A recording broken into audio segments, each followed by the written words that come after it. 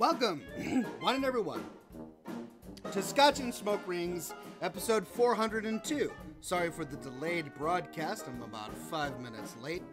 I had to get all set up for the show. Been working hard, been working hard on a new video for tomorrow. And I'm glad to take a little break to play some games with all of you. Uh, hope you're having a great day. I've been having a great week. We've been going through a lot of information about the Gunners. Already, right off the bat. Jeepers. All right, let's uh, let's go ahead and bring Nightbot up. Well, we've been going through a really fun series on the Gunners, and it's been taking up quite a lot of my time, but I've had a lot of fun doing uh, a bunch of research into the topic, and I hope that you all have as well. Today's video was on um, random encounters, which is a uh, which is always a fun topic. And one of the reasons I wanted to do it on random encounters is because there were two random encounters that had to deal with gunners. That's right. Uh, and they both, uh, both of which reveal a lot of interesting information about the gunners. In one, we learned that they really like pre-war technology, very similar to the Brotherhood of Steel. In the other, we learned that they're willing to sell their mercenary services even to wandering uh, uh, traders which I found to be very strange considering they usually open fire on all wandering traders that they find. I concluded that they must be so territorial that if they find someone who typically would purchase their services, and that person hasn't purchased their services, they make them pay by opening fire on them. My goodness. Anyway, uh, so uh, I published my video on random encounters this morning, and I've got a whole bunch more, more random encounters to do in another video. As I was getting footage together for this video, I kept on finding more and more unique random encounters that I had never seen before. I'm really kind of mining the entire list of random encounters that Fallout 4 has for this game, or that Bethesda has for this game, and uh, I'm really surprised. There, there are far more than I thought existed. So, I'm saving that footage for another, yet another video on random encounters, which I will publish in the coming days.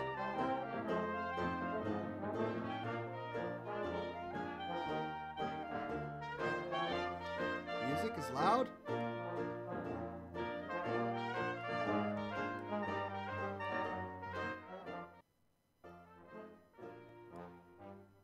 It's strange. I had it really, really. There. How's that?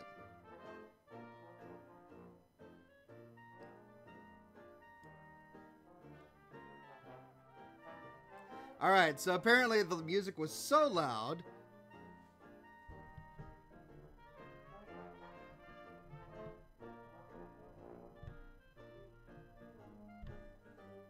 Music is really loud. Okay. Um.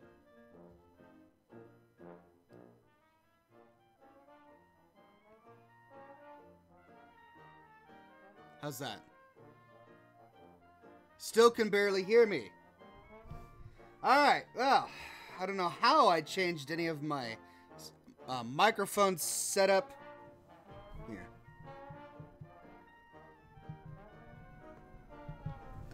How's that? Oh. I, I increased the gain on my microphone. And I reduced the sound from my music. I'm still hard to hear. So does that mean that nobody heard a thing that I just said? Man. I'm not to repeat myself. I don't know. I didn't mean to repeat myself. I don't even remember what I said. What did I say? I think I was talking about the Gunners. Anyway. Smoking a great cigar today. Now I am loud and clear.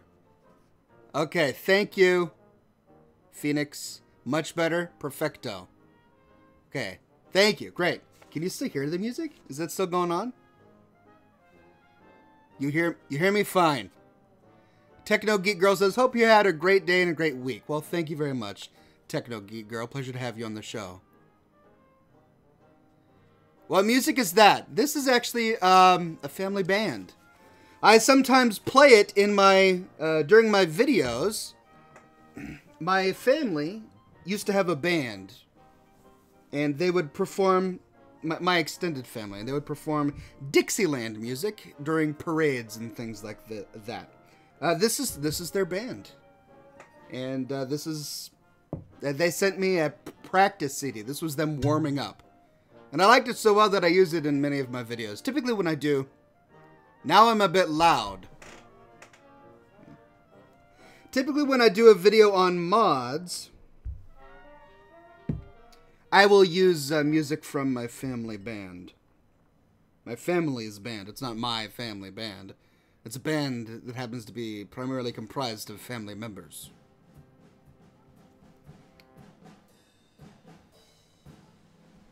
Try to figure out which glass to use. The problem is that... Alright, I'll use this one.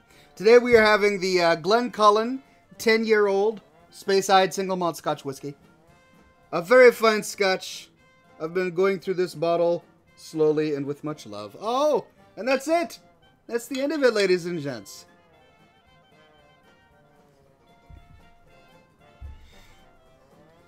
Have a happy Easter. Thank you very much. Yeah, uh, uh, so for tomorrow's video, I'm doing a mod review. I'm trying to do mod reviews on Mondays and Fridays. It's not. It's it's it's more of a more of a showcase than a review. I will be slightly reviewing them, and one of them it, it's going to be on settlement mods. I haven't done one on settlement mods in a while, have I? I've done a lot on mods, but not on settlement mods. Anyway, so I'm doing one on settlement mods.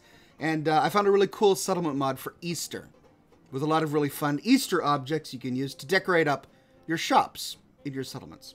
So, happy Easter, everybody. We're going to have some Easter mods. well, at least one Easter mod tomorrow. I'm going to Paris and will miss the end of the stream.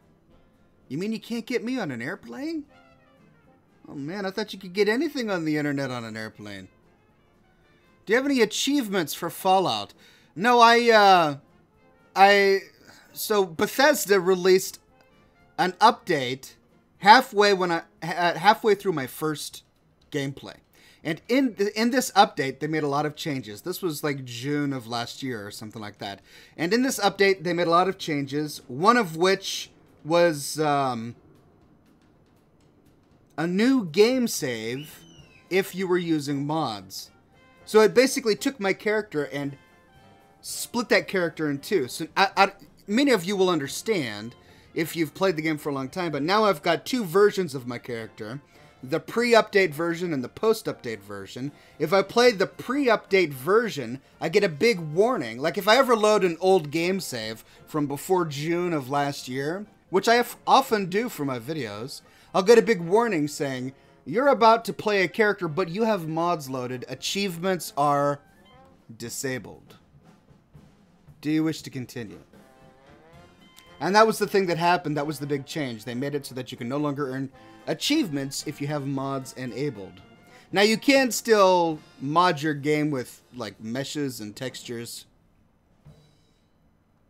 But if you load an ESP other than an official ESP, that comes with Fallout 4 or any of the DLCs, then sadly. Hey! Chromie Homie Brody, thank you very much. I appreciate it. I've never actually seen that before. That's new. I just recently enabled something on YouTube called Super Chat. I didn't really understand what it was, but YouTube kept saying, hey, enable Super Chat. And I'm like, all right. So I enabled Super Chat. L looks like that's what it is. A big... Yeah, that's pretty cool. Thank you very much, Chromie Homie Boy. I appreciate it. A big uh, orange thing appeared in the chat uh, from a donation. Thank you for the donation. Anyway, so I can no longer earn achievements on my game. And I didn't bother to install the mod that allows you to remove the restriction. Because, of course, Bethesda tried to make achievements more valuable by putting in this restriction against mods. But of course, there's a mod for that. I just didn't bother to install it. So I don't have all of the achievements for Fallout 4. No. No, I don't.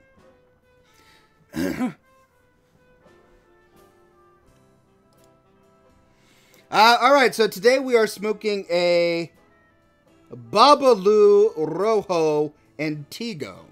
And these are some of my favorite. I, I love the shape of these cigars. It is a Churchill shaped cigar, but look at the way that they roll that. Uh, on the end there, they've got a nice pig's tail roll. I really enjoyed that. And then they left, they left the foot of it unfinished, which I also, I also like it when they leave it unfinished. Makes it taste better. This was a gift, and I constantly mi- uh, mispronounce his name. He told me, he told me how to do it. It's Lauring, Lauringra. Yeah, let's see if I can find it.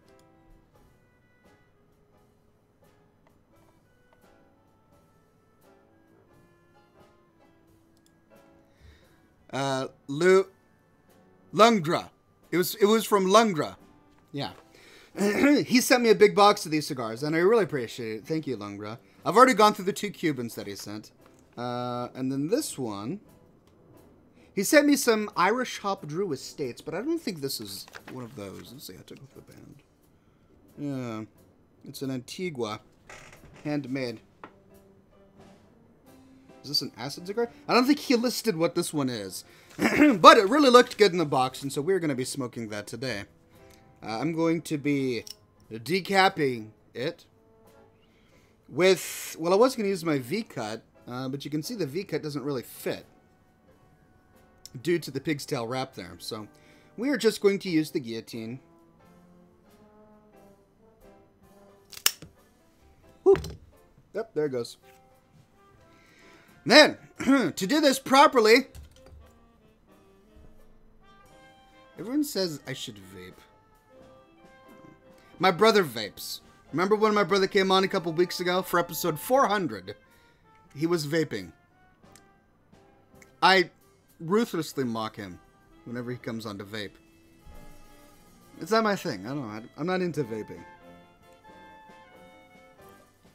It's it's like who wants it's it's a big he always uses these most the most ridiculous flavors. Like cheesecake lemon slice with bubblegum accents. And I'm like, who wants to have that in their lungs? Like, I, I realize that there's an entire subculture of vapors out there, and that's fine. I can respect that. Do your thing. More power to you. But cheesecake marshmallow bubblegum? Really? I don't get it. I, I'll say this to my brother, and he just laughs at me. Okay.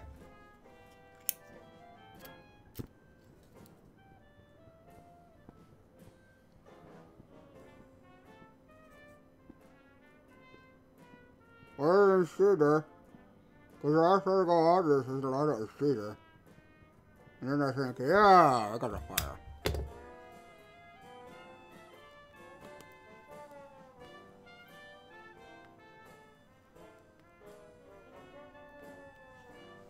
Oh, oh, a fire.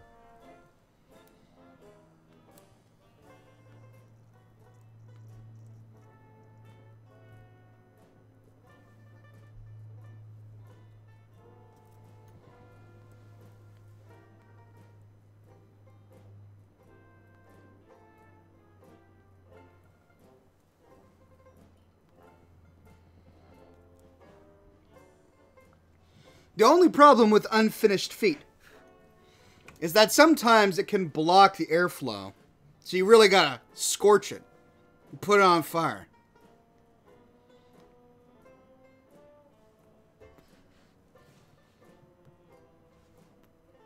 John says, hope your beard doesn't get lit while smoking.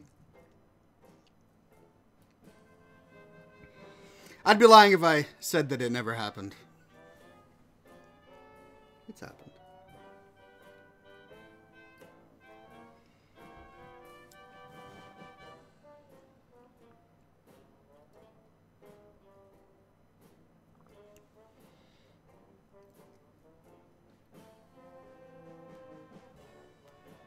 Uneven Burn says 10 Arthur. No, right now we've we have a decent burn, but it's just lit. What you see on the end there is just the unfinished wrapper of it, which has burned. I'll, I'll knock that off real quick.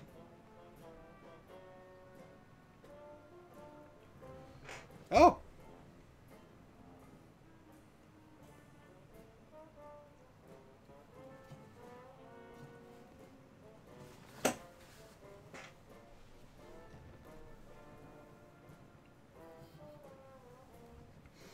So today we'll be playing some Fallout 4, as usual. And I believe we have a dead drop waiting for us. For those who don't know, I have been playing my Railroad character. And we've been having a lot of fun. I only play her on this broadcast, and we've got her to like level 15 or so. And every moment of that has been with, with all of you. Um, I haven't taken her off on my own at all. We've got her to level 15 or so, and we've got Randolph Safe House number 2 coming up. So stay tuned for that. We're going to have some fun.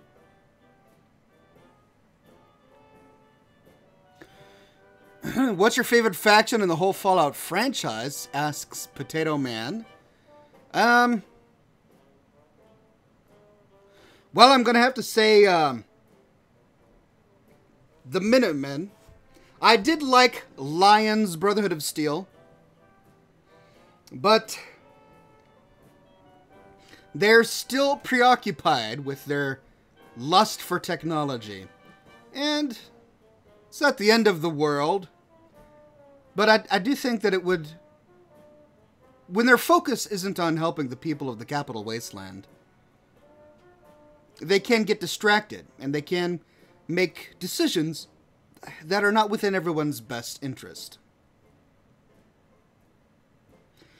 With the Minutemen, they are only solely focused on helping people of the Commonwealth. That's their only cause, really. Their cause is everyone else's cause. And I think that's better for humanity as a whole, so I prefer the Minutemen.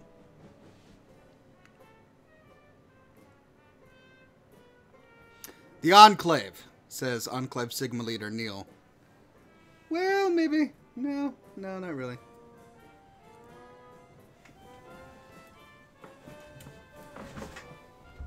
John Henry Eden.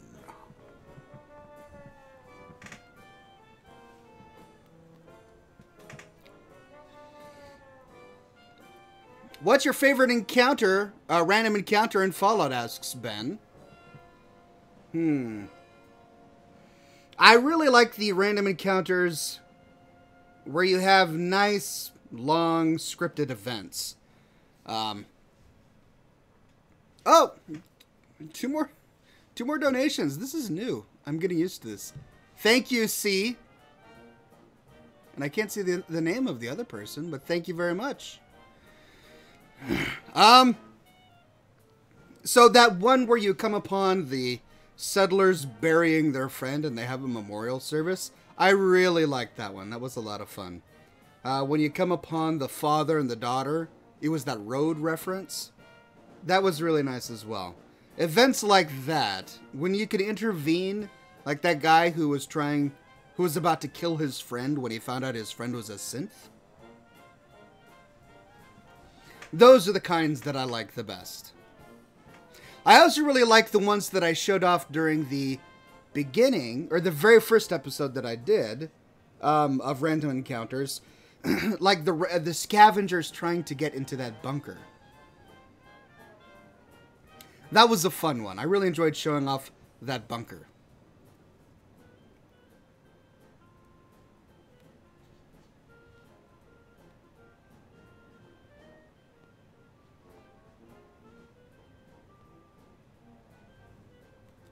Wow. Thank you for the for the donation, Will. He says, I love watching your videos. They have made Fallout 4 a much more lively game for me. Your videos have made me laugh, made me cry, and most of all, you make me feel part of the actual game. Well, thank you very much, Will.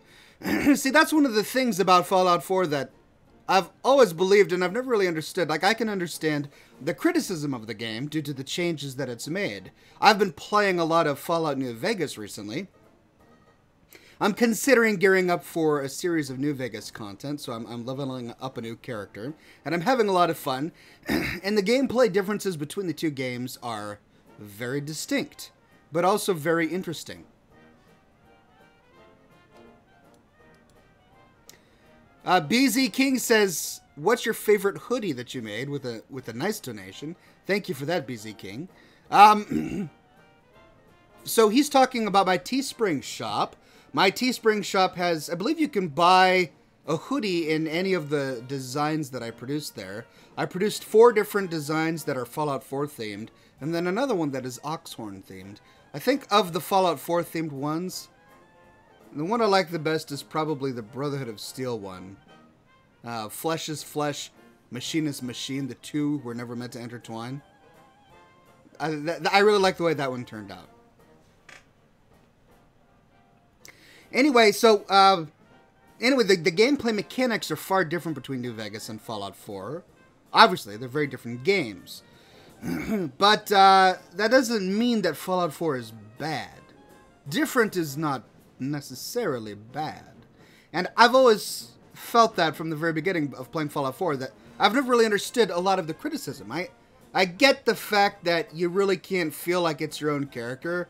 The hardcore role players prefer the Fallout 3 and New Vegas way of doing things where you don't have a voiced protagonist and you feel like you're really making the decisions. But even then, you were choosing scripted decisions. It's not like you could make your own decisions. The, deci- uh, the decisions were set out in a menu before you, and you still had to choose the ones you wanted.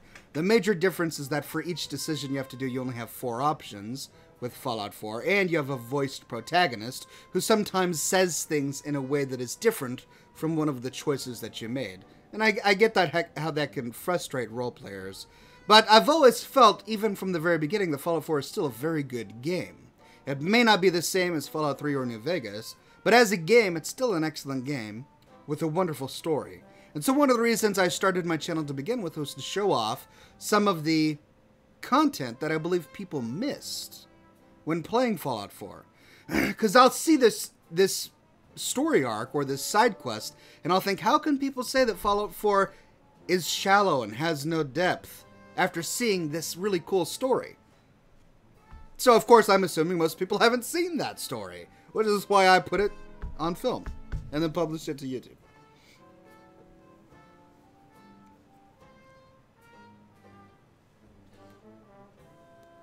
Jack Blackwell says, Would you like to play a Fallout game where you play in a pre war American world with a nice donation? Thank you, Jack. Um, no, I wouldn't. the I mean, I like seeing the pre-war American world. Okay, I take that back. It would be interesting to have a few side quests in the pre-war American world. Maybe you're playing a character who becomes a ghoul, and so he's really old, and for the first eighth of the game, you're in pre-war America. Maybe he's got a mob connection, and you're doing a bunch of you're doing a bunch of quests Oh, nice, wonderful donation from the Institute who says we're watching. Thanks, the Institute. Now go, uh, go, go take your watchers and watch elsewhere. um, that would be fun. but I wouldn't want to play the entire game in a pre-war world. Because half the fun in Fallout is the post-apocalyptic wasteland. Plus, you can do things in a post-apocalypse that you could never do in a pre-apocalypse. Like hoarding weapons and murdering raiders. You, you gotta go to the cops if raiders come knocking on your door in a pre war world. But in a post war world, you can seek your own justice. Major difference there.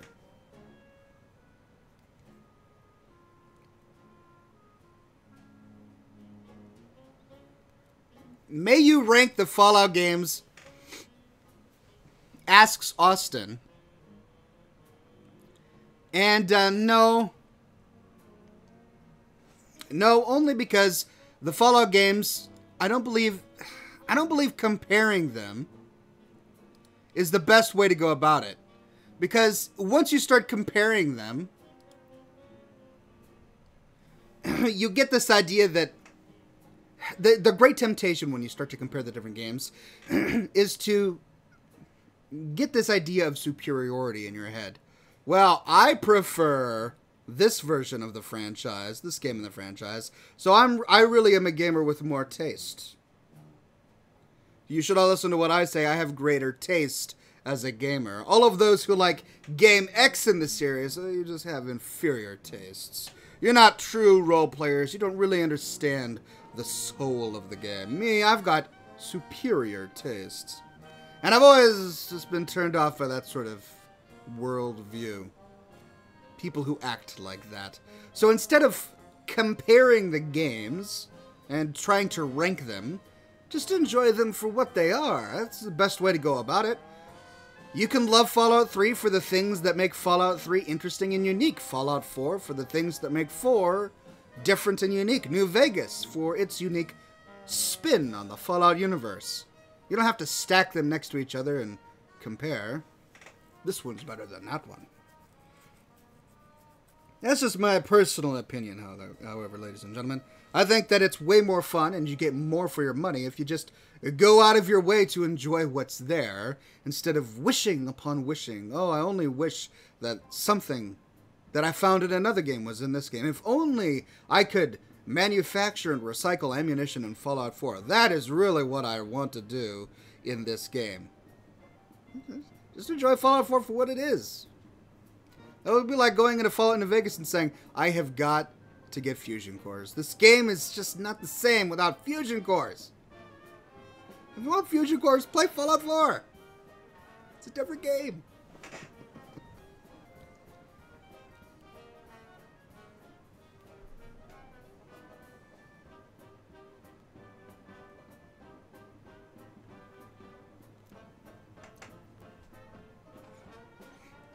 Up.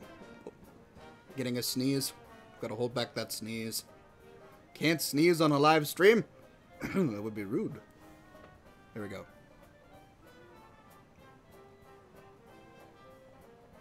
Are you going to have the Forged in a video? Uh, well... I've already talked about the Saugus Ironworks, and I've already talked about the Dunwich Borers. So I believe I've pretty much covered the Forge. That's really the only places in the game where they show up is uh, they're mentioned in the video on the Dunwich Borers, and then you can actually fight them in uh, the Saugus Ironworks.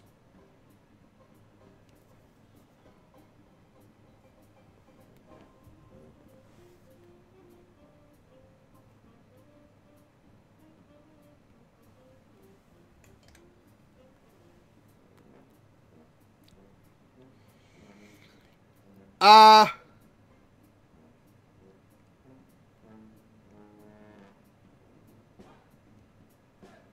Right. Reveries on Discord says, I want your deep, detailed, ethical point of view on censorship. And I and I will give you that in just a minute. However, we did just get a, a new tip from Kilrain. Thank you very much for the wonderful tip, Kilrain. And he says, Do you order your cigars online? Or do you have a shop where you get them locally? There is a shop where I get them locally. However, I, I it's not my go-to place because buying them from a shop is really expensive. they can get really expensive. You can spend $15 on a stick if you buy them from a local shop. So I go online. There are a wide range of cigar shops where I'll go, but my favorite so far has been Famous Smoke. They've got pretty good deals. Reveries wants to know my detailed, deep, and ethical point of view on censorship. This is in response to the moderator bot that I have on Discord. There, I've never seen so much controversy over just simply blocking swear words. That's all I do. I've got I've got a blacklist of words on the bot, and that has caused so many people to just get all flustered over it. They can't swear on the internet. Oh no! You can't swear on the internet. Oh goodness. What on earth will you do with your life? I can't swear on the internet. I'm going to write a 10 page thesis on why swearing is really good for the soul. Right. You want my views on censorship? I'll give you my views on censorship. Right. So censorship is bad. I do not like censorship. Of course, censorship is evil. But there's a difference between censorship and then having a community where there are certain rules of performance, right? Like certain behaviors where things are expected. And the, of course, the classic example, which everybody forgets, is the shouting fire in a crowded fireplace, uh, uh, in a crowded movie theater example, right? It's illegal in many places in the United States of America, of America to shout fire in a crowded movie theater because you'd be causing a panic which could lead to harm, right? That is technically censorship. I mean, I don't know if it's if maybe censorship is not the right word, but it's you're restricting the speech of an individual because the consequences of that speech could cause harm. Right? Is that wrong? If we are going to be, you know, hat waving libertarians here, is that going to uh, bother us because we can't say one word in a crowded movie theater? I think the more re- reasonable approach is to to have to have appropriate conversation. Like you don't restrict appropriate conversation in appropriate places. But you still have to show other people respect. You respect the lives and the uh, and, and, and the mindset of the people in the movie theater by not shouting fire in a, in a, in a movie theater. You not only ruin their show, which is showing disrespect for their time and the money that they've spent at the theater, but you're showing disrespect for their lives and whether or not they go through bodily harm. Or if you're in one of those town halls, like you, I've seen the, we've seen the videos online of those people going to town halls, and you've got some elected official on stage trying to have a discourse with people, but the people aren't interested in discourse. They're really not interested in having the conversation. They want attention and they want to bully and drown out the other person on stage. And so they show that person disrespect by speaking really loudly and, you know, doing the chants and waving the banners and burning their bras and all that sort of nonsense. And sure, free speech, yeah, great, but free speech in the appropriate places. Free speech without showing a lot of disrespect. I'm not saying that you should be banned from burning your bra. That should not be a law. Go, you want to burn a bra? Go burn a bra. Have fun. It's your bra, you spent money on it. Here's a lighter. Just do it over there. Right? And it's the same with swearing. It's same with other things. You want to swear? Sure. Is are four-letter words the maximum of your vocabulary? And I know I just said that in a very illiterate way, the maximum of your vocabulary. Fine. That's great. But you could say those four-letter words over there. Just because you have the capacity to say the word does not mean that everyone who has ears must be required by law to hear them. And that is the major thing that I think when it comes to censorship and ethics. So for my Discord community, I have the bot with the blacklist of words, and if you say those words, your comment gets deleted. You don't get kicked, you don't get banned, your comment gets deleted. And I've got it posted in the announcements section. Everyone can go there and read it. And it says, do not swear. Simple. You want to swear, go elsewhere. There are many places online where you can swear. Just don't swear here. That's all. Doesn't mean I'm restricting your free speech. You can say it anywhere else. Just not here. Those are my thoughts on censorship. Aren't you glad you asked? Oh, I forgot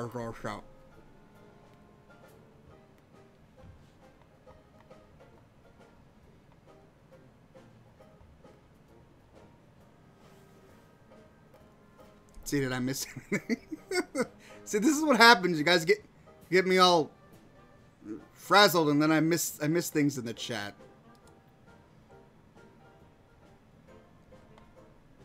There you go.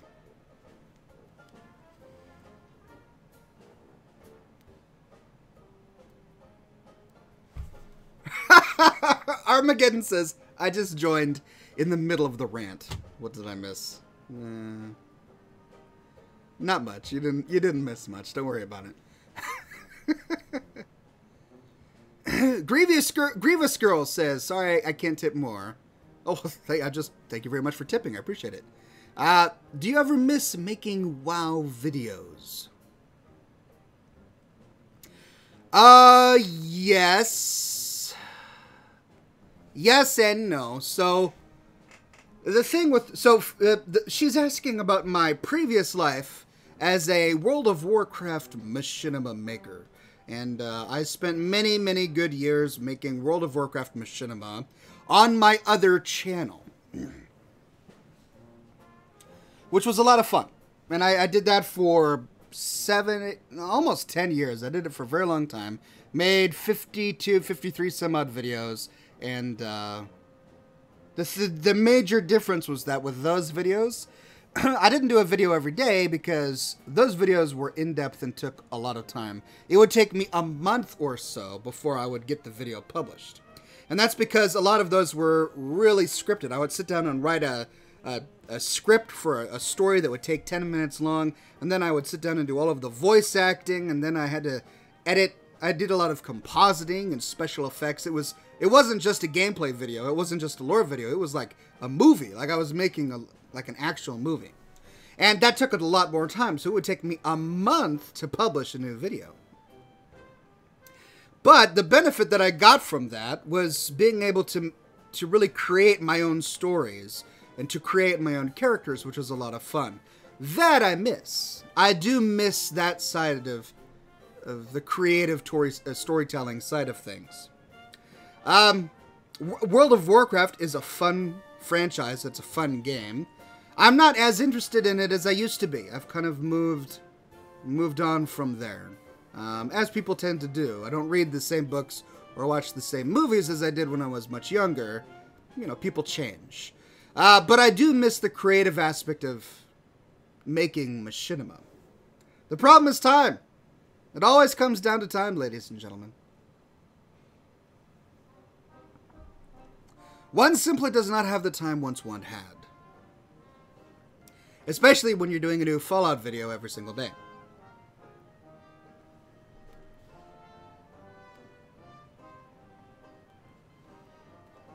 Leon says, Are you going to continue Bioshock? Yes, I will. So I have not done Oxhorn After Dark recently, uh, mainly because I've been incredibly preoccupied with my series on the Gunners, and some of these videos have taken up a lot of time. I only do Oxhorn After Dark if I, uh, dark if I get my video for the next day done and ready by 9 o'clock my time. If I do, then I feel like I have a couple of hours that I can dedicate to a live stream. And then I'll do Oxhorn After Dark. But uh, this past week, I've been staying up late getting these videos done just to get them done in time. Uh, partially due to the amount of effort that's going into them, um, and then also due to my sleep schedule, which is messed up right now. and I hope to have it back on track here soon.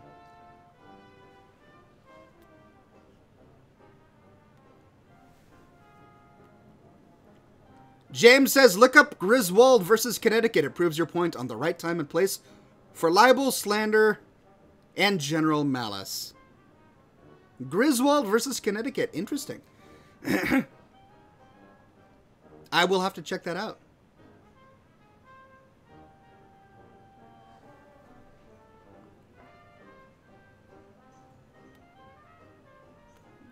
Nothing says you should make a story mod for Fallout.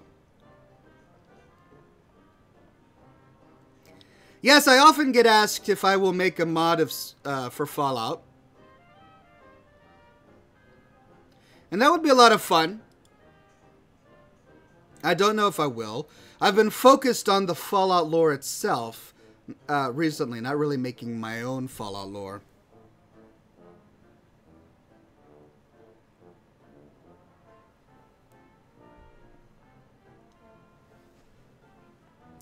You should come to Australia for VidCon, says Renee. That would be Heckers, mate. Heckers?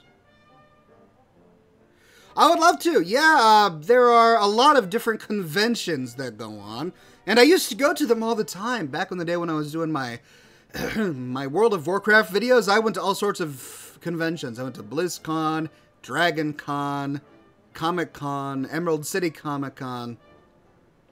I even did a big uh, presentation at Emerald City Comic Con once where I showed off three or four of my videos and I did a question and answers thing and then I uh, gave people advice on how to make movies and stuff like that. It was a lot of fun. Uh, yeah, I do like the conventions. As it is right now, I'm so busy with what I do that there's no way I could do a convention right now. Maybe someday. Ghost X says, when is the gameplay starting? I, I realize that this face is is not the most attractive face to look at for an hour. But there are a lot of people asking questions. I'm trying to do my best to answer them. Once I get through the, the questions, I'll start the gameplay. Don't worry, I've got Fallout 4 loaded in the background. We will hop on, on into it in just a moment. But uh, anyway, one one day I'm hoping that I'll grow this channel to the point where I don't have to publish every single day, and instead I can get down to like three videos a week. When that day happens, I'll be able to do more things like going to conventions and stuff like that. We'll see. At the moment, I, I need to do a video every single day. It's just the way YouTube works.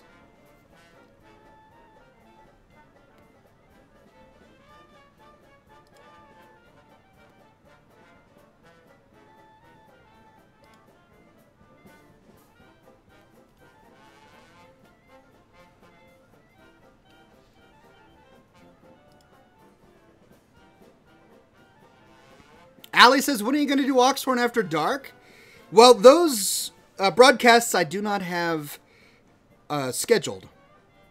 So the only show that I have on schedule is Scotch and Smoke Rings, which I've been doing for a long time. How many years now? I started in uh, June of 2009. So however many years that's been. Eight, eight years now? I think I'm on what, season? I'm on season nine now. Anyway, I've been doing this program that you're watching right now for a very long time, but I just started Oxhorn After Dark, and my schedule is as chaotic as it is, uh, to the point where I can't reliably schedule broadcasts aside from this one. So I don't want to put myself out there to a set schedule, but I will be doing more Oxhorn After Dark. Usually once I've finished a video for the day and then I've got some free time, then I'll hop on Discord and say, hey everybody, I'm going to do a, broadcast in 30 minutes. We'll be doing some Oxhorn After Dark. Stay tuned. So eh, be sure to, to join my Discord to make sure that you don't miss those kinds of announcements.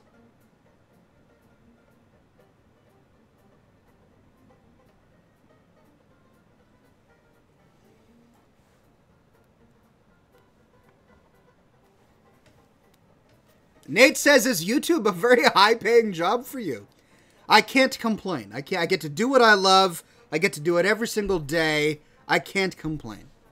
Um, let's just say that I was finally able to leave my job, my career of like seven years, to do this full time. So thank you all for that. Jordan says, "Just wanted to say that you're amazing. Your videos are a highlight of my day." With a with a $5 tip. Thank you very much, Jordan. I really appreciate it.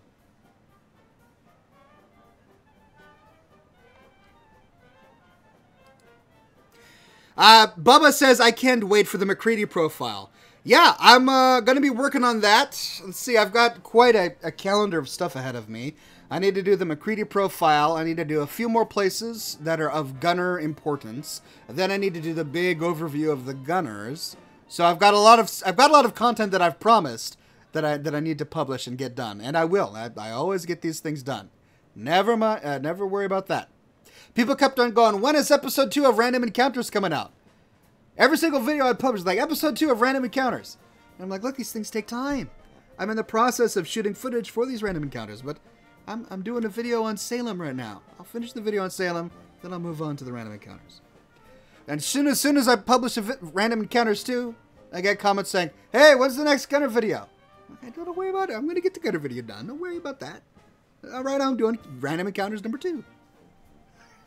this is what happens when you announce content before uh, ahead of time. Instead of just publishing something when you want to publish it, if you announce it ahead of time, this is what you get. Lessons learned.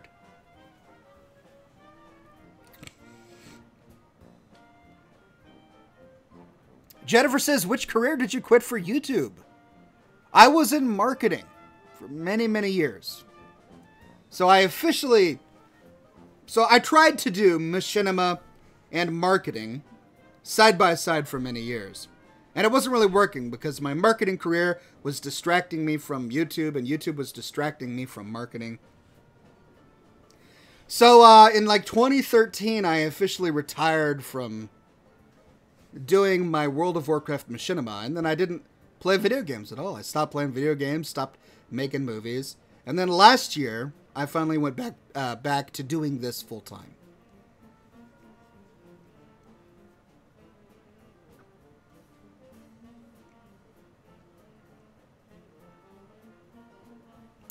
Gavin says, What do you think of advertisers pulling out of YouTube? Well, naturally, for a, a, a, YouTuber like myself, advertisers pulling out of YouTube is cause for concern because that's our bread and butter. However, um, I also believe that's the prerogative of the uh, the advertiser.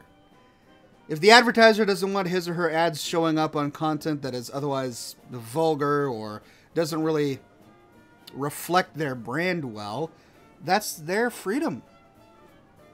You know? And I'm not going to take that away from them. uh, one of the things, you know, I've heard a lot of, there have been a lot of YouTubers who have posted all of these videos trying to, you know, rally their user base and get everyone riled up saying, ah, it's the end of the world. Ah, YouTube is saying that I can't swear anymore. Ah.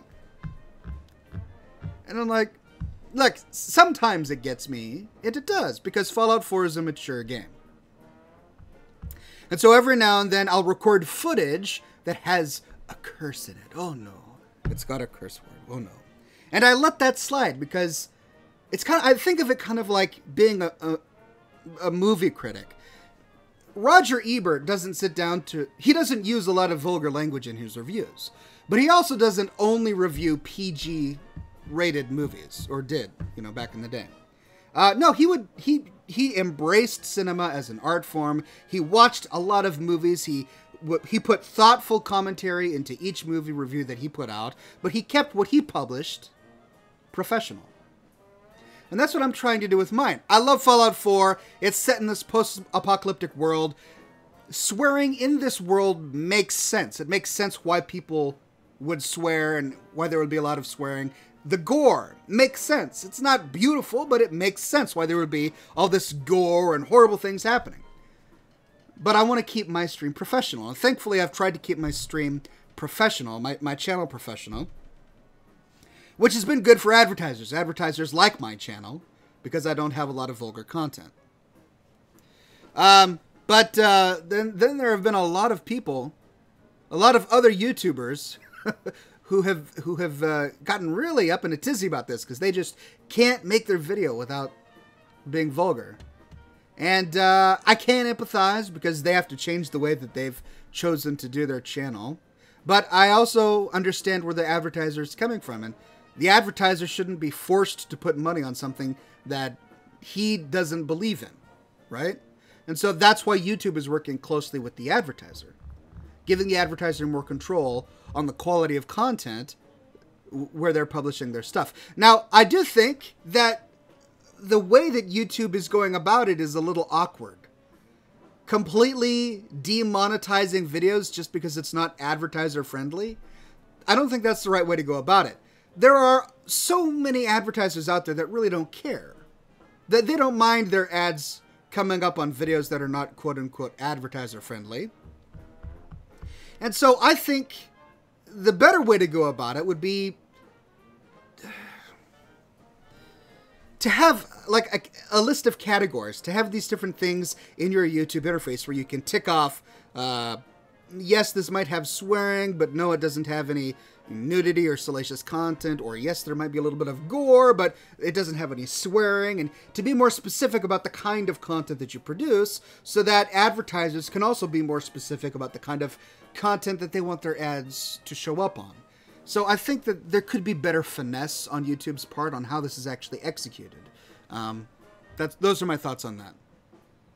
Christian says, with a wonderful tip, thank you very much. Oxhorn, your videos help me through long days. I thank you, sir. Thank you very much, Christian. I really appreciate it. Um, that's why I, I, do these videos. You know, a lot, a lot of people miss the stories of Fallout 4, and they're such good stories. I just want make, I want to make sure people don't miss them. That people, people can see them, and so I'll try and reinterpret, uh, reinterpret them through. Uh, I'll try and go through them and interpret them the best I can.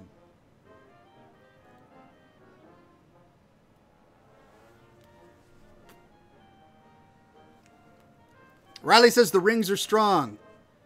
Uh, yes, okay. I realize this is scotch and smoke rings. Don't worry, I will get to the smoke rings. Hold on.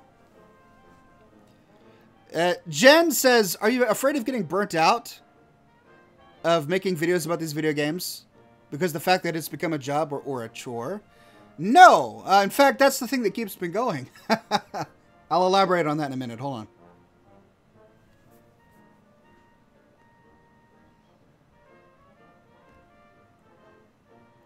There's a breeze. It's it's not it's there's a breeze. It's messing up my smoke rings.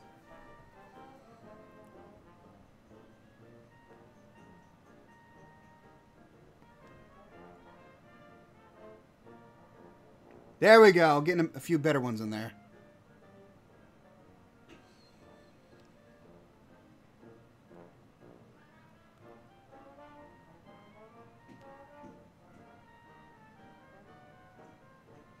There, I got one or two. Good, I got one or two good ones. Get Up says he doesn't pay attention to Twitch. That's not true.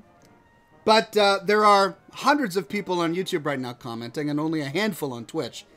So your the Twitch comments tend to get pushed up much more quickly. So I, I just don't see them quite as often. There are a lot of people talking. I, I can't get everyone. um, but anyway, back to your question about me getting burned out because I would think it's a job or a chore. Uh, no, no, absolutely not. In, in fact, the opposite is true.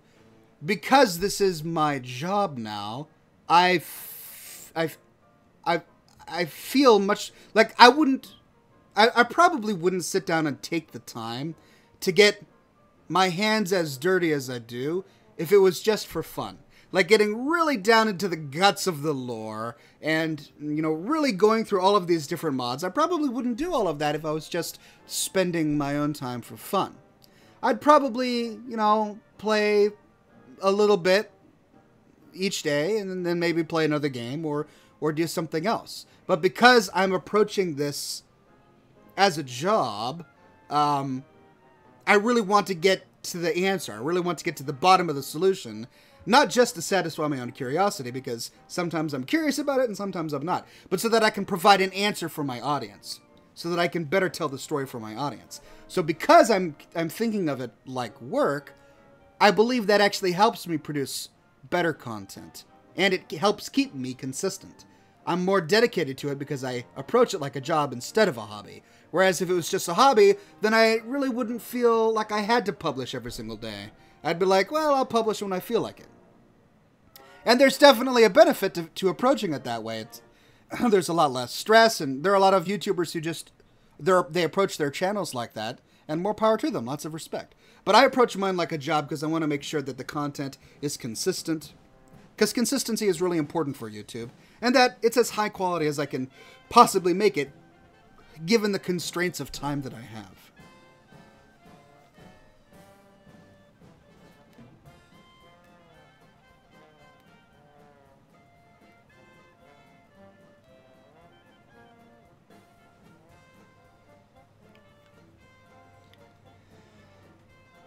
Zachary says, Oxhorn, do you think the Institute is evil for making artificial life? Is this like how parents create life?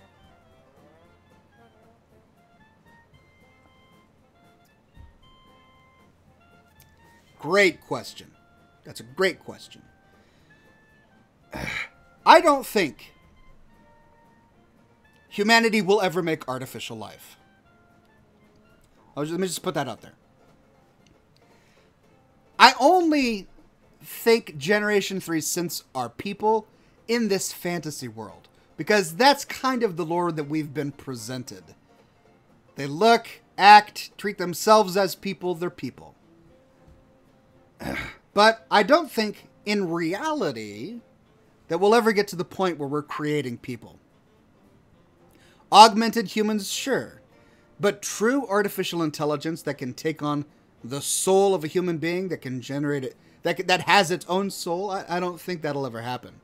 I think we'll get really close. I think we can imitate humanity, but I don't think we'll ever get to the point where artificial intelligence will be as creative as humanity, have minds as powerful as real human minds, or that it'll ever get to the point where we could even confuse artificial intelligence with people. I think that the uncanny valley is so strong. You have to remember, we have human minds that have evolved over so many millions of years to recognize intelligence when we see it, to recognize the soul of another person when we see it, that the uncanny, the uncanny valley exists because we're really good at picking that out. For those who don't know, the uncanny valley is when something like CGI or artwork gets so close to being human that it starts to make us feel a little weird. like we're looking at something that seems a little off. Um, that's happened with Mass Effect Andromeda recently. It, they got really they got too close to the uncanny valley with the way that they created some of their characters, which is why so many people are going. That's a little off, right? Anyway, the reason that that the uncanny valley exists is because the human mind is really good at picking out what's natural and what's not natural, what should be there and what shouldn't be there. And I think that though that millions of years of evolution have it's going to be really hard to beat that, right? I think we can get close, but I don't think that we ever will. Because of that, I don't think there's anything wrong with experimenting with artific- artificial intelli- intelligence. Um, I know that Tesla, or I, I know that Elon Musk is really scared of that and he's well spoken when it comes to his thoughts on artificial intelligence, and I respect that. I don't fear it. I really don't. I I, I, I think I don't think we should be giving a nuclear button to a, an artificial intelligence, but we already give a lot of our lives to computers, uh, passcodes to our bank accounts, uh, to our credit cards. A lot of stuff. A lot of stuff is managed and maintained by computer programs that really don't have human in- interaction until something goes bad.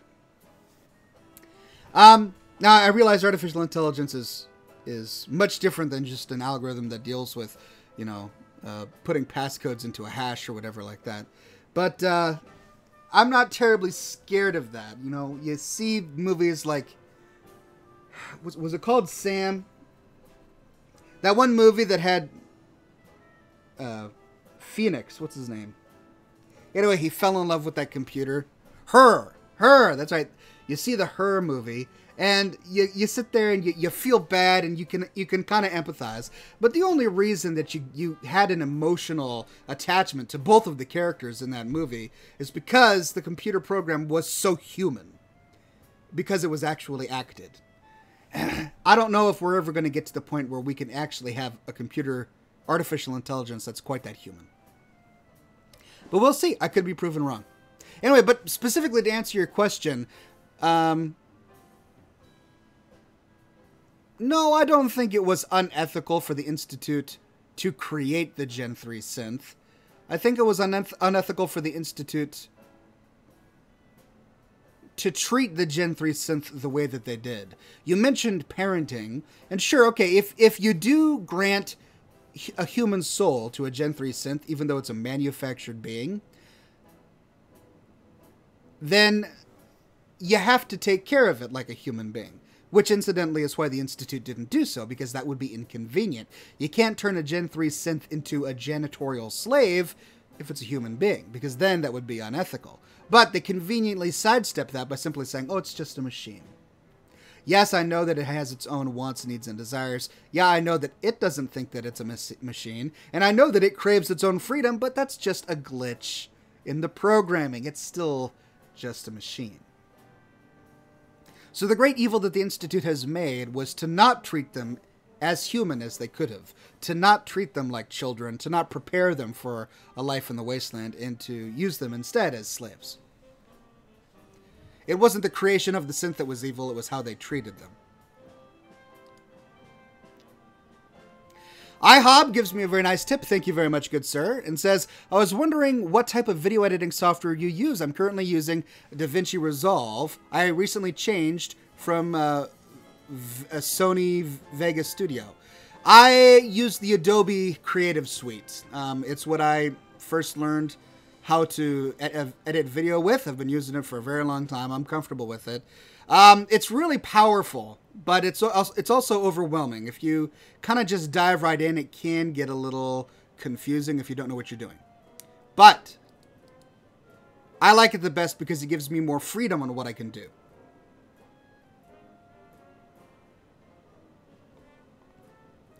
Then I thought I missed something there.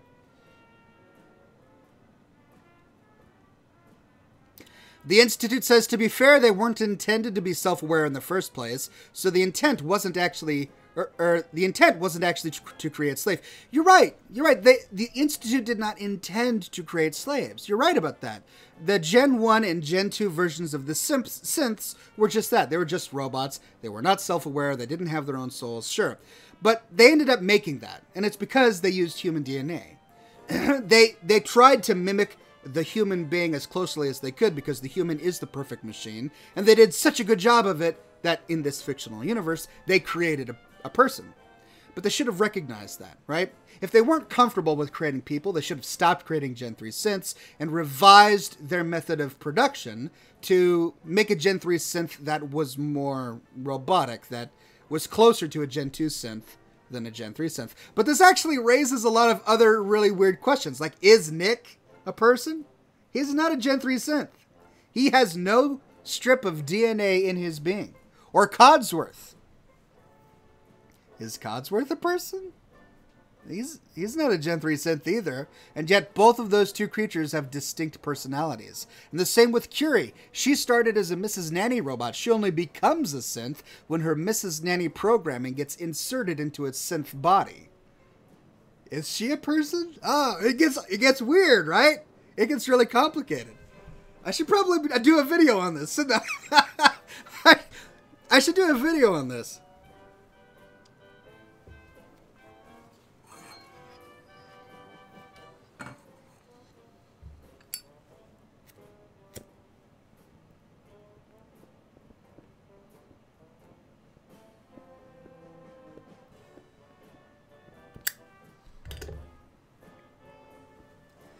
The short answer, I think, is yes. Codsworth, Curie, and Nick are all people, even though they don't have DNA. I'd have to solidify my thoughts on it, but that would be my instinct. Grant Stacy says, Oxhorn, is there a limited time to buy your shirts? No. That's one thing about Teespring that frustrates me. Teespring is the it's it's the wonderful company that I'm using to publish my shirts. They're working hard with me. They're a great company. Uh, but they've got this silly sort of marketing thing where every single shirt on the shop says, Act now! This shirt only lasts for three days. And then it's got this countdown timer.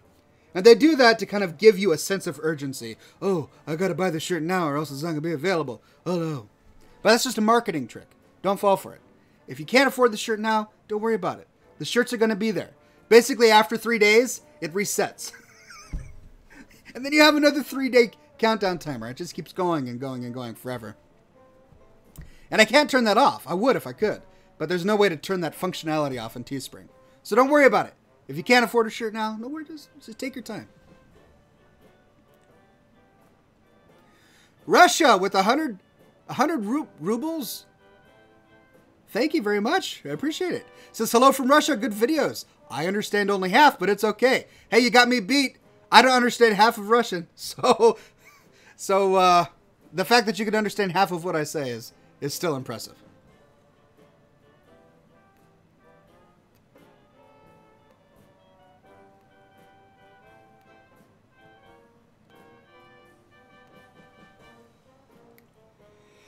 O Studios says, Hey Ox, do you think synths can reproduce? I don't think so. They can't age, and they can't get fat.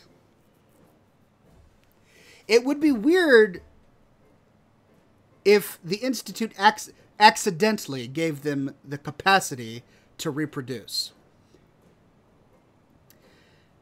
I mean, if they really are machines, they would have to program that, right? They would have to program a reproductive cycle. And if they could reproduce. No, I don't think they could because what's the point? The Institute can produce a synth at any time. It produces, you know, 10 or 13 synths an hour or something like that. That's a much better rate than producing one every nine months. Right? So uh, there would be no reason for them to program the reproductive system. Now, that said, maybe synths have it without the Institute knowing it. Maybe they copied so much DNA that a synth body can reproduce even though the Institute never designed that to happen. It's certainly worth uh, worth thinking about.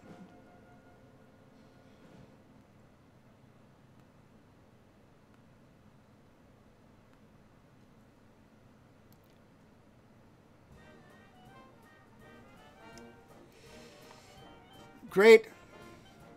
Lord Matthew says, Ox, I side with the Institute because of what you would be able to do if the game had more options for the player. Basically, I could change the policies. What are your thoughts on that? Well, we are limited with what we can do in the game. So anything outside of that is role playing. It's head headcanon. And uh, that's fine. It's your game. That said, the director of the Institute doesn't really do anything. Father, as the director, had a great deal of power. He made all the decisions. He had veto power on any decision that was made. So, if one could become as authoritative as Father at the Institute, and if one changed the way the Institute functioned to be less xenophobic, and to value the lives of Commonwealth citizens more, stuff like that, then yes, that would be definitely a, a, a boon for mankind. But what we find in the game is that you, as director, don't have that capacity. Any every decision you make has literally no effect on the outcome. You get one choice. What is the institute going to focus on? More Gen 3 synth production or more powerful weapons? No matter what you choose, nothing changes in the game. Nothing. That's the one choice you get as director, and it has no effect. Then, as director of the Institute, you spend all of your time going out into the Commonwealth on, you know, scavenging miss- missions or to explore the wastes. How can you be a scavenger, a wastelander, an explorer, while also being the director of the Institute? The, the thing is that the, the game just doesn't come with a gameplay component where you can play the director of the institute. Now, I realize that from a role playing perspective, you could role play that, and that's totally cool. In that case, who knows? Maybe siding with the institute is the best option. Because in that way, you can change the way the institute works while maintaining all of its technology. But then you're also riding the success of experiments that have been so incredibly unethical. The Institute is responsible for super mutants in the Commonwealth. I mean, what's the Institute going to do about that? They have an army of, of synths. Why don't they use that army of synths not to kill scavengers and to steal their loot, but instead to battle the super mutant menace that they created? When are they going to approach the people of the Commonwealth and say, look, for the past hundred or so years, we've been kidnapping you, killing you, and replacing you with synths. Sorry. I mean, that's not going to happen, right? So I don't know. If you are the director of the Institute and you've got all of this figured out and you've managed to get it with your game, then hey, it works out.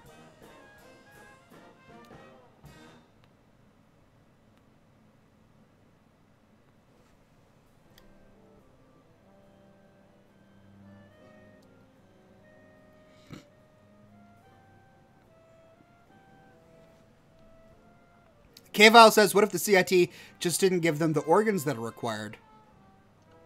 They did. Because they had to imitate being human beings. And take a look at the Roger Warwick example.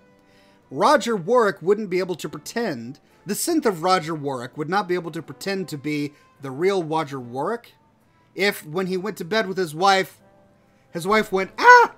Where did it go? Right? Not to get vulgar, but they, they would figure that out. So the the institute did have to basically make the Gen 3 synth a human clone with all of the bits and pieces. They may not necessarily function, but the bits and pieces are there. Also, we learn from the whole Covenant line of quests that they must have all of the same organs as a human being. Because the only way to detect that a synth is a synth is to kill them and take out the synth component. But if a synth doesn't have a second liver, for example, then you could simply perform surgery on the synth without killing it and take out or and, and notice that that liver isn't there, right? If there was some sort of biological defect in the synth that every single synth had, aside from the uh, synth component, then you could figure it out without killing the synth and taking the synth component.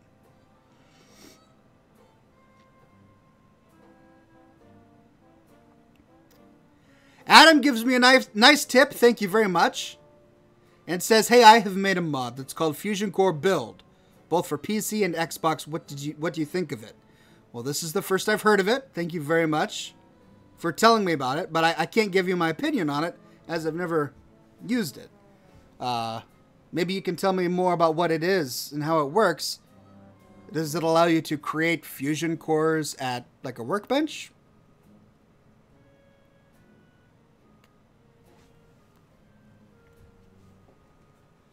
Thomas says, Oxhorn, are you still playing Mass Effect in your spare time? I just beat it 100%, and the ending is brilliant. Thanks for letting me know. No, I, I have not. I'm on. Um, I haven't gotten very far. I've completed Eos, and I'm now on a new planet. I just got to a jungle world, and then I'm on my way to an ice world. So I'm still early in, in the game. But I'll get there. I'll get there. All right, yes, I still have a video to do today, so we'd better get to the gameplay portion of things. Lots of great questions this episode. Thank you, everybody, for your questions. All right, so smoke ship time. What would you like to see? For those who don't know, at the end of every episode of Scotch and Smoke Rings, I create a smoke ship out of nothing but the smoke in this mouth and your ideas. What we're gonna do is we're gonna um, we're gonna do the smoke ship and then move on to the the gameplay portion of the pro- of the program.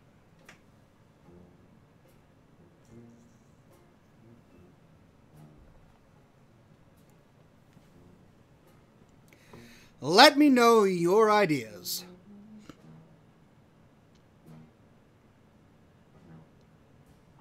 Havarl and Voeld. Yes, those. I believe those are the names of the planets that I am at in Mass Effect right now. That's right.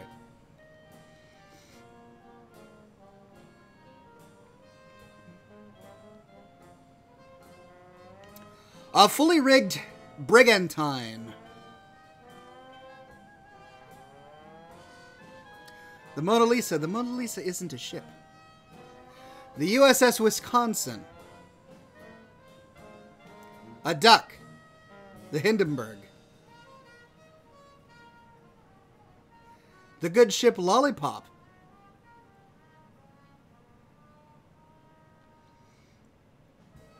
United Airlines. Uh, no.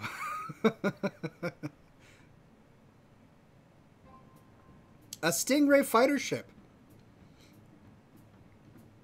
an AT-AT, Preston on the Prydwen, Prydwen, Prydwen, Prydwen, lots of Prydwen, the Tempest, the Titanic, the Hindenburg, lots of Zeppelins today. Ship of Dreams, the Black Pearl, Boaty McBoatface. Ah, I like Boaty Mc, McBoatface. We're gonna we're gonna have two uh, smoke ships. We're gonna have Boaty McBoatface next to the good ship Lollipop. How about that? I don't have to describe what they look like. You'll see what they look like when I create the smoke ship. All right, here we go.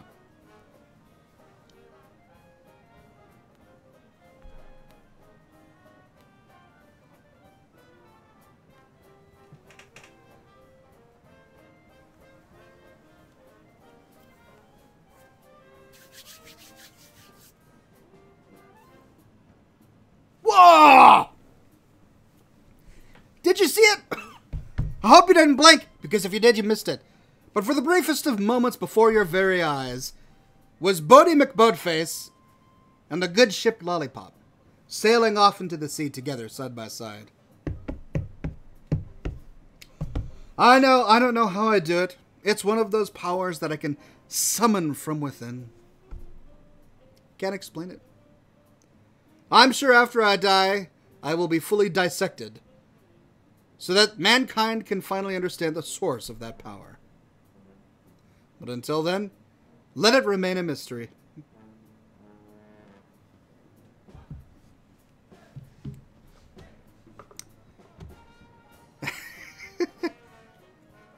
the dog miner says, Dagon, and I blinked. All right.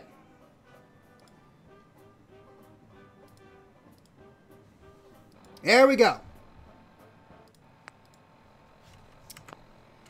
Okay, so here we are in Diamond City. Let's see, I'm going to go ahead and bring the music up. I think I just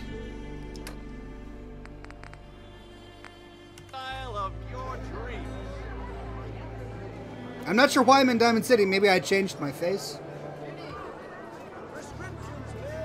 Okay, let's uh, let's go do Randolph Randolph Safe House.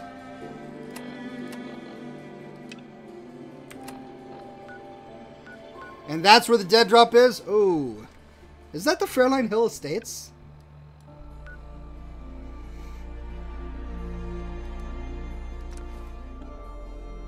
We have a bit of a run ahead of us. Looks like I haven't discovered that portion of the Commonwealth yet.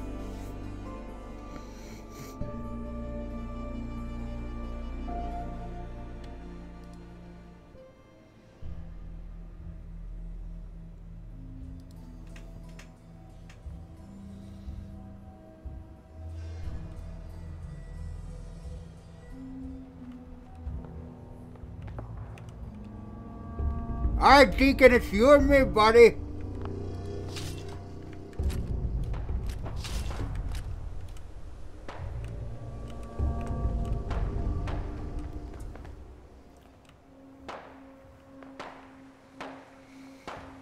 Something's going down over here.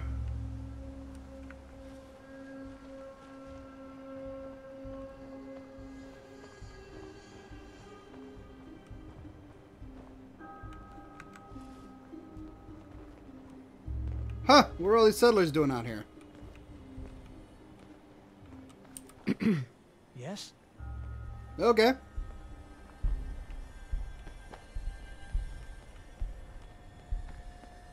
Whenever you're done corpse squatting. They killed a raider. Yeah, looks like we have to go to the Fairline Hill Estates to pick up this dead drop. Oh, that's right. Get the Yao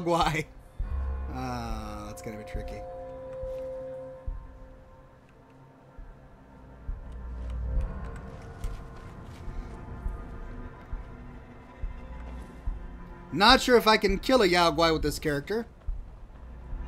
We'll see.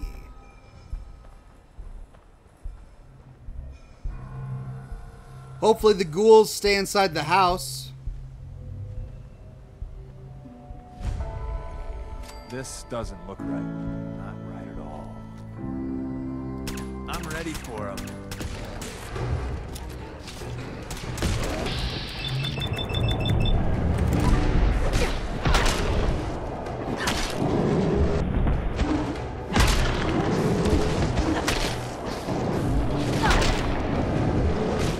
Man.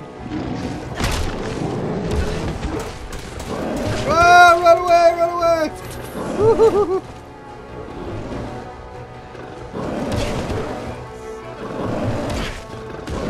ah, man! Alright, killing Yao is hard.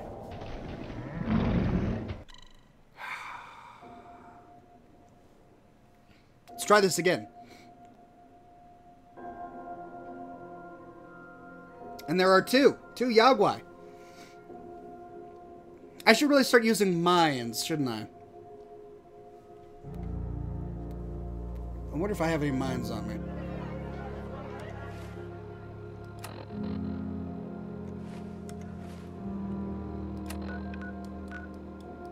Not really stealthy to use mines and explosives, is it? Rick Tobin says, that was unbearable. Can't deny.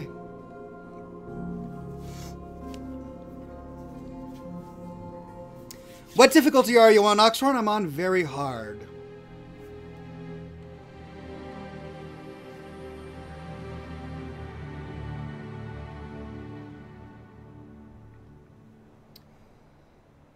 Oop.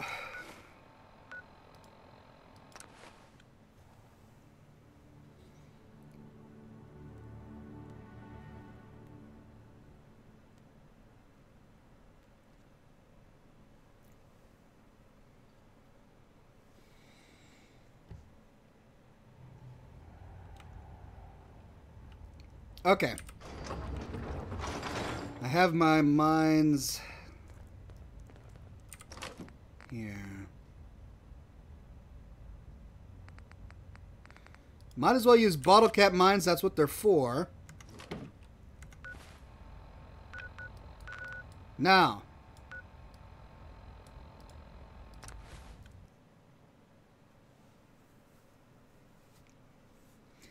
Sneak, pickpocket a Yao and plant a grenade. I don't think my sneak is that good just yet.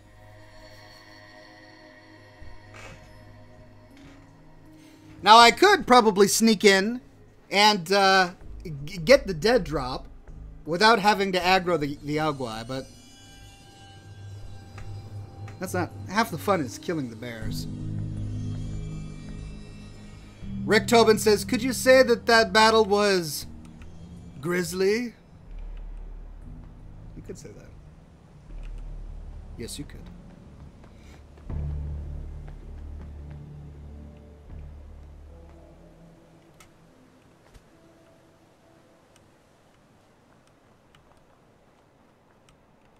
Looks like it's a random encounter location.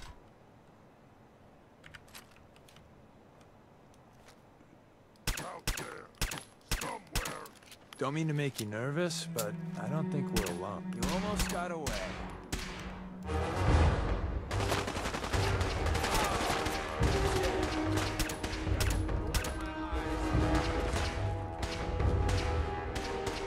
Almost got away.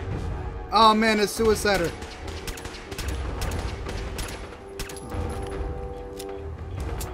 Come on, Deacon. Deacon, sorry, buddy. Oh, it's a legendary. Oh.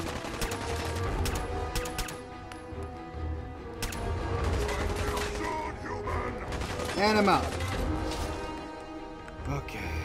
What chems do I have?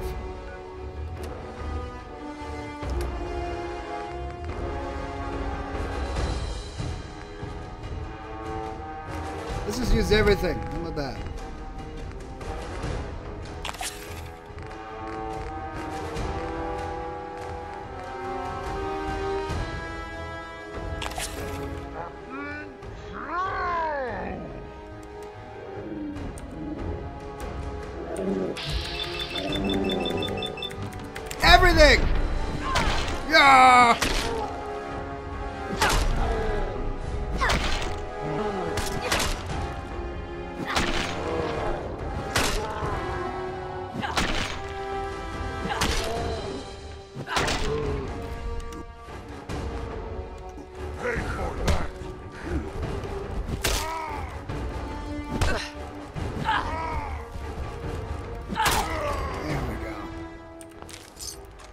Super Mutants Orders. I believe I just talked about this uh, random encounter in a video that I published today.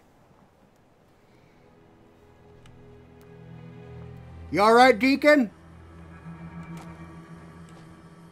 I had to go mono a mono with a super mutant.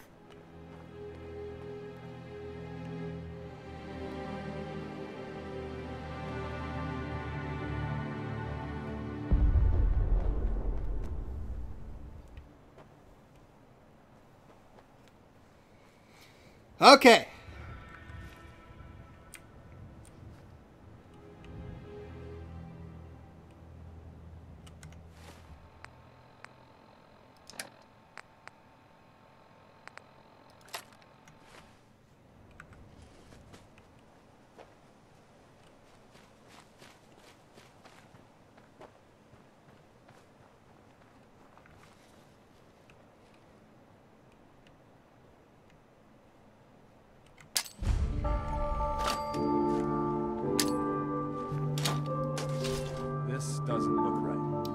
Out of ammunition.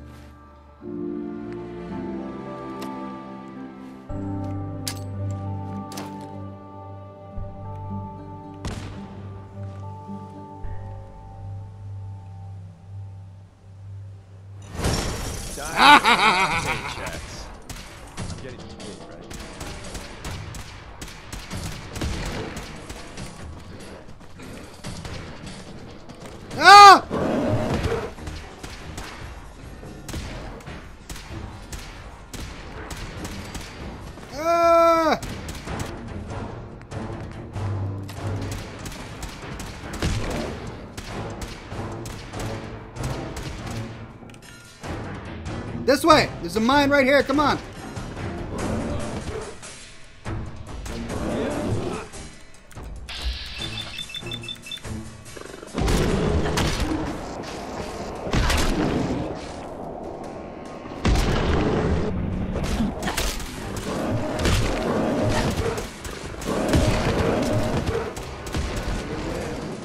Okay, I guess I didn't have to use that one.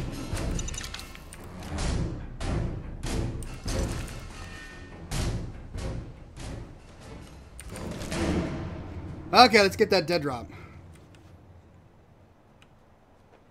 This doesn't look right. Not right at all. Is there a rail sign? Yep, look at that. Rail sign? I didn't even notice that when I did the video.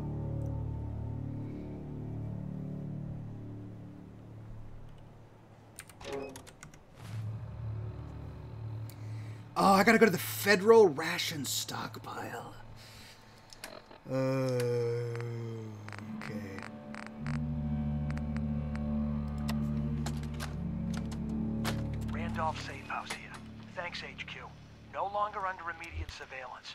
Confirmed quarantine, but give us the all clear soon, okay? Package 1 is ready for shipping out of the Commonwealth.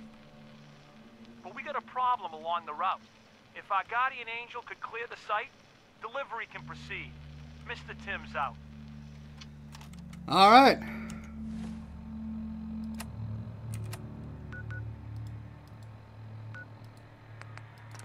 Let's do it. I'm probably gonna appear right in the uh, right a bunch of uh, amidst a whole bunch of raiders. We'll see how this goes.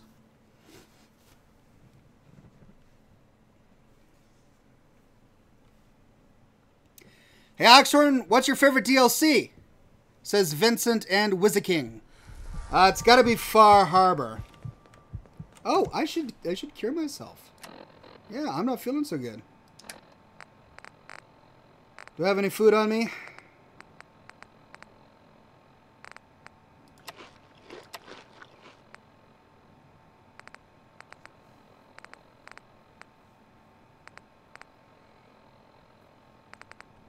Not a whole lot. But enough. Okay. Have I cleared this out previously? Let's see. Save.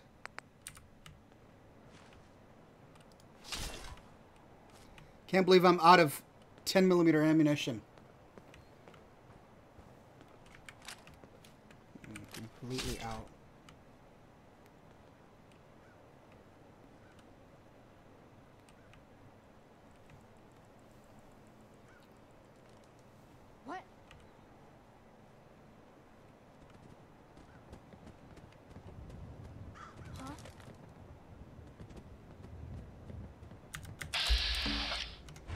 Was hoping I could teleport.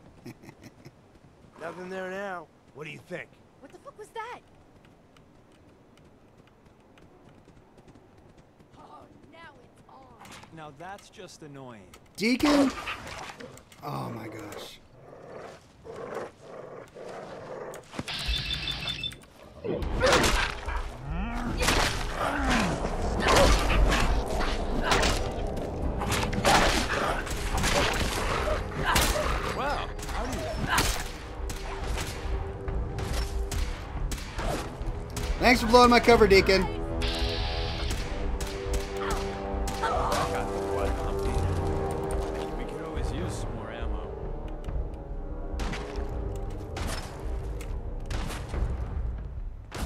Stay hidden for long. Maybe I should just let them shoot a deacon. and I'll sneak around over here.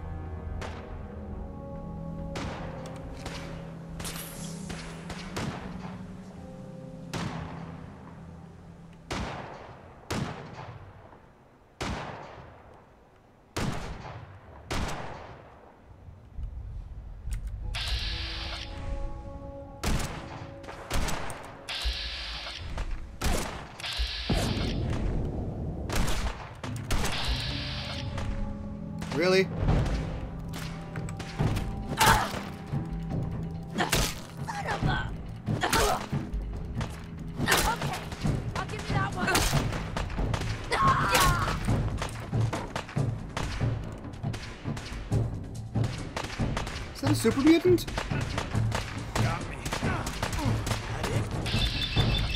Oh no, he's just in power armor.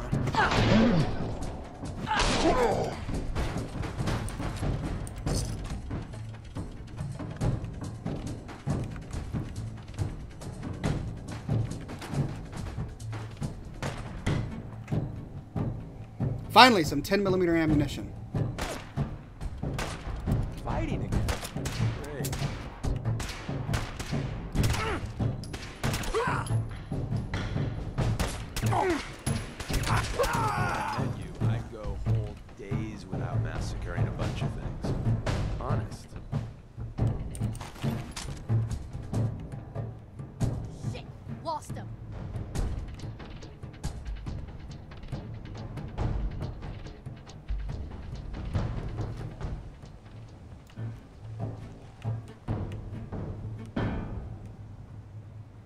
Looks like just the ones in the bunker, eh?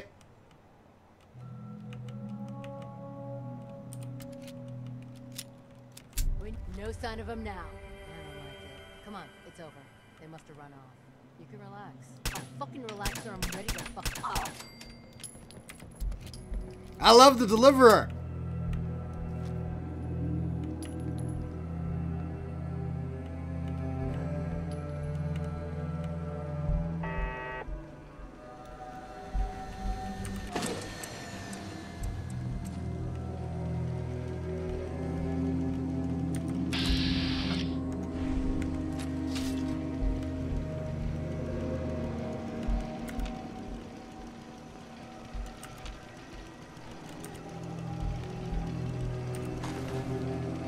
Let's see if we can turn off those turrets.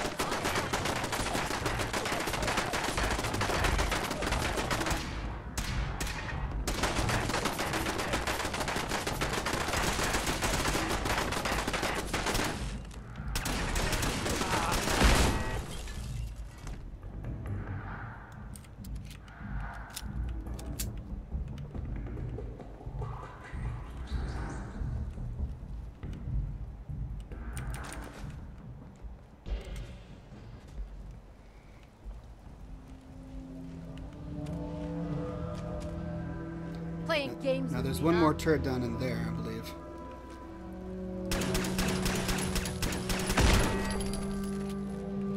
And I'm running out of ammunition fast. I wonder who or what they're protecting against. Scared, huh? Well, the bunker is here because be. the communist Chinese. Fucking hide from me? Dead. That wasn't in the script.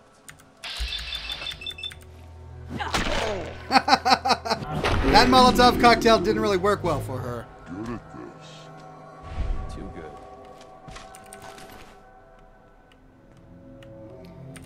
Okay.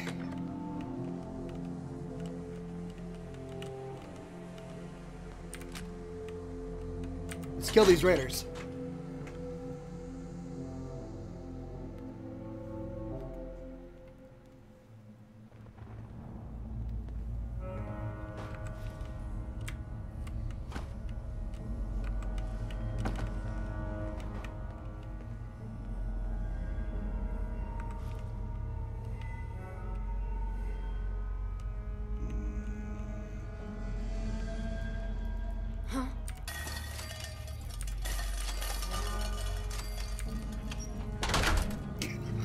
Sure they didn't notice that. Closing the big doors in their faces.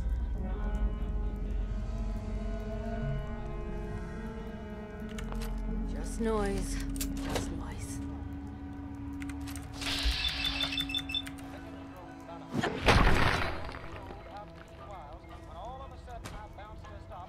One hit wonder. Seems we have a tail.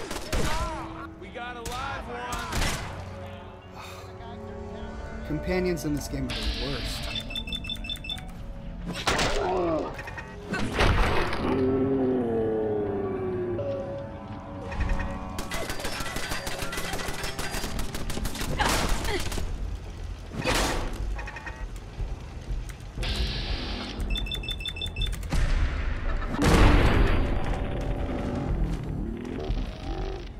Winning. Yeah, but that was painful.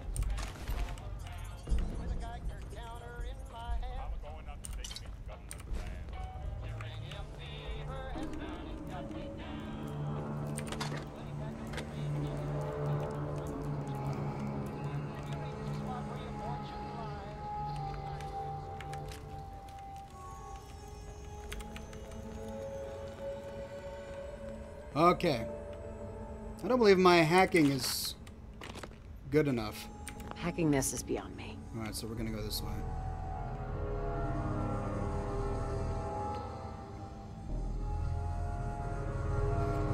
Deacon is the Charlie Sheen of the Commonwealth? That's actually some great insight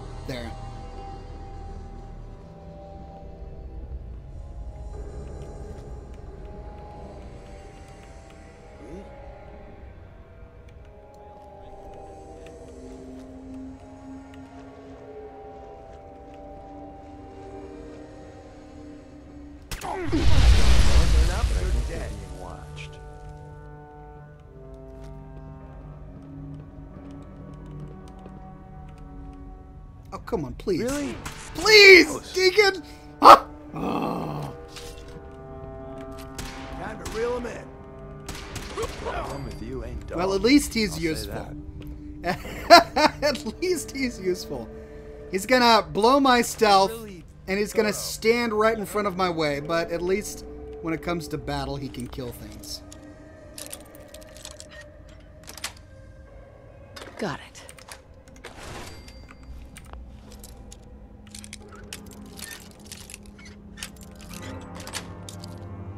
Sweet.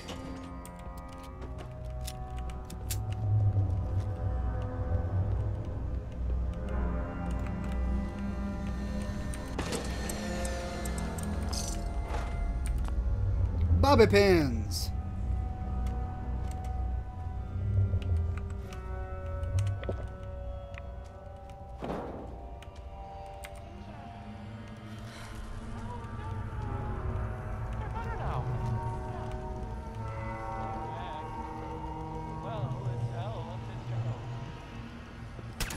Think you can hide? Tell your friends, you dead bastard. Tell your friends, you dead bastard. Deacon, it's not how it works. Show your face. Come on. I dare you.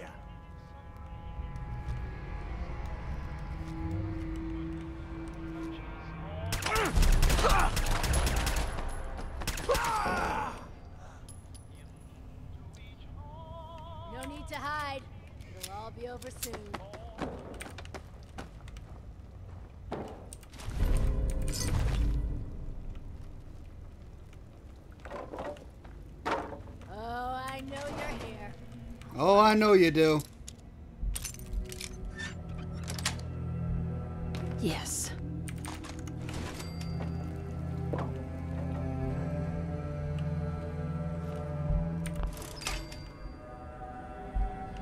Dumbass coward.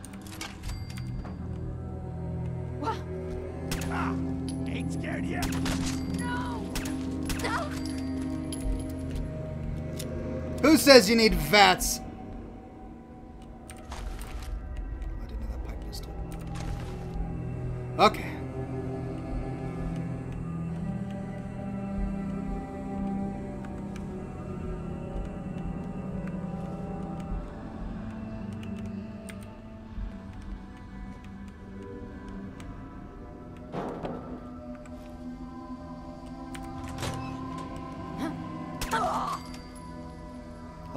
Pistol. Man, I should have done a pistol build. Instead, I'm doing a melee build.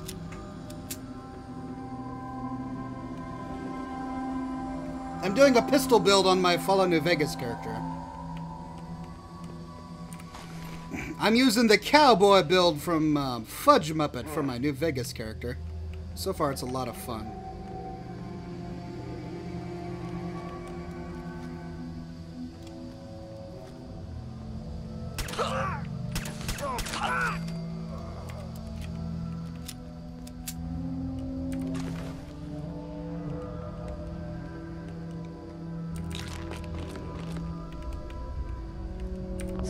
Too good. And I still, oh man, I can't get in there.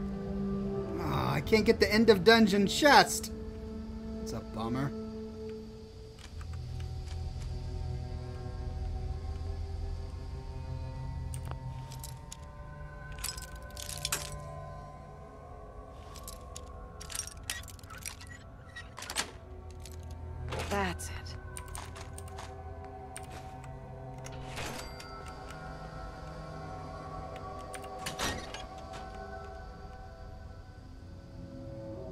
That's right, Red Tourette drops a key, doesn't she?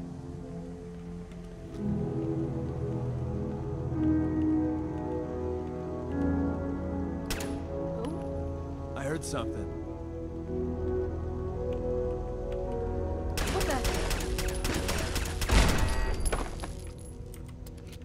Standing down, I guess.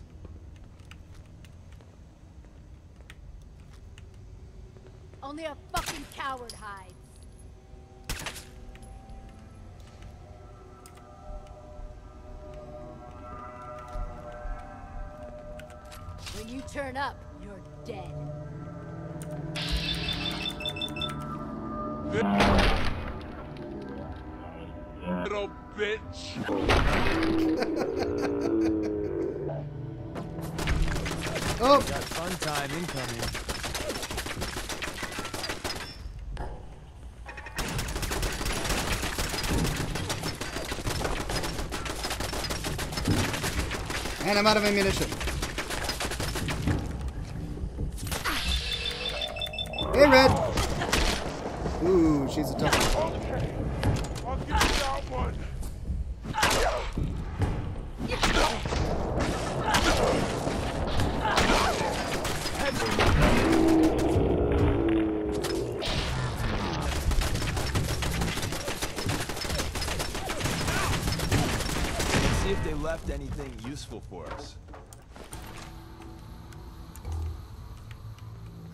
That's it. There, I think actually, I think there are a couple of more.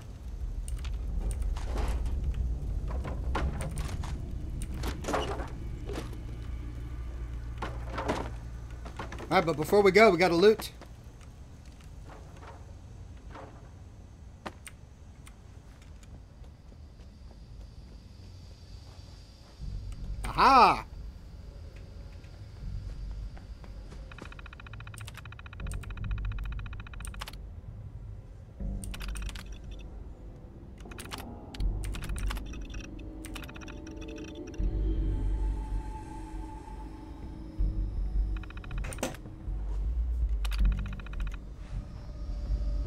Happen to anyone else?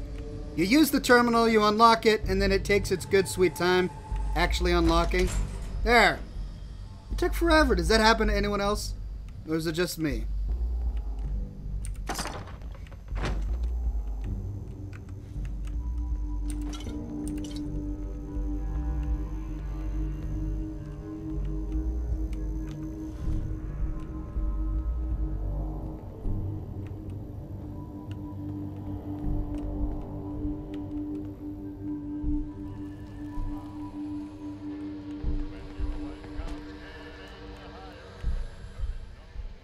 Don't believe I've won down here yet. Oh, I did.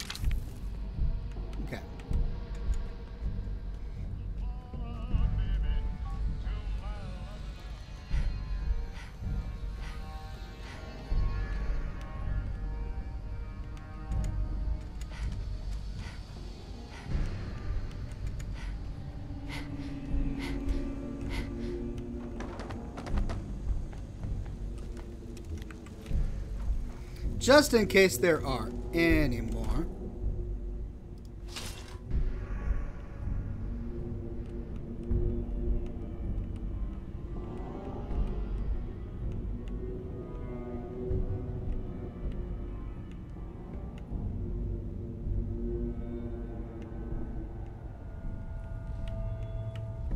I believe that's it.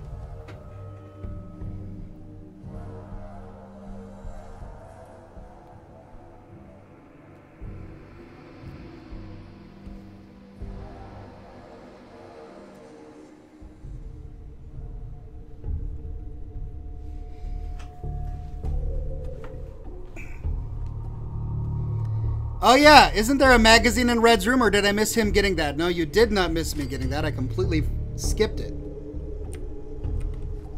Let's go back and get the magazine.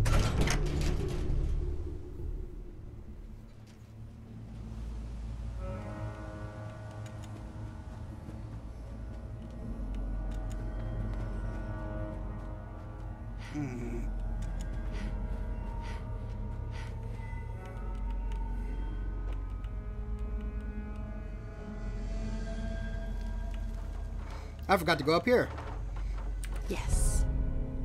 That issue is one of my favorites.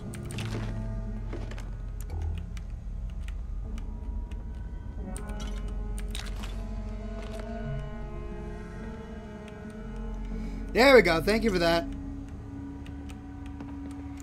I would read all of those notes, but I've already done a video on this one. No need to read the notes.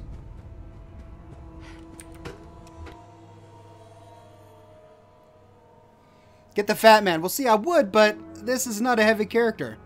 I don't need the mini nuke. I don't need the fat man.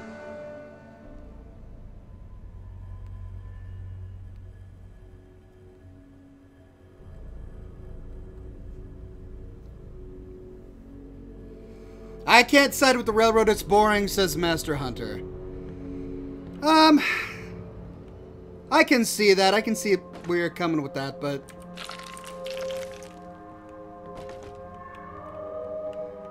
But I actually uh, really like the railroad quests. I like how. I like the vibe of the railroad. Sneak, uh, sneak, sneaky, stealthy.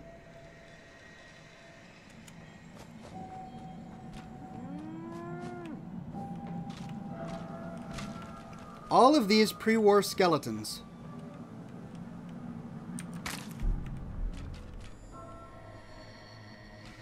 Gosh, this, uh...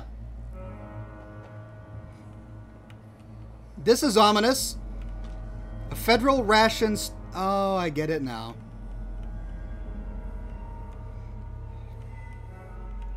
These were all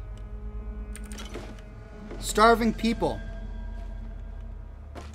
And they tried to storm the ration stockpile to get food. And these pre-war soldiers prevented them. Set up these barricades and attacked. Killed the pre-war civilians and were killed themselves. In my video, I, I did it on Red Tourette. I didn't really do it on the lore of the place, so I should probably revisit this in another video. Alright, let's go turn in the quest.